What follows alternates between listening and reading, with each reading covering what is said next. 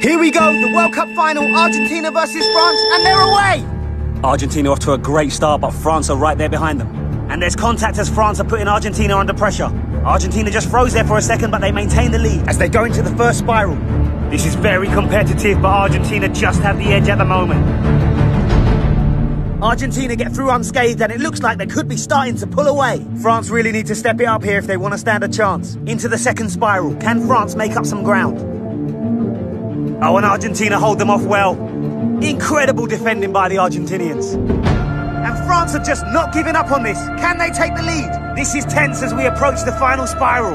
And there's more contact as France try to apply the pressure. And still Argentina managed to hold the French off with some world-class defending there. Argentina look to be in control. Oh, and France have taken the lead in an incredible turn of events. As we come up to the hairdryer now, they've got to watch out for the obstacles. Here we go. Mistake by the French.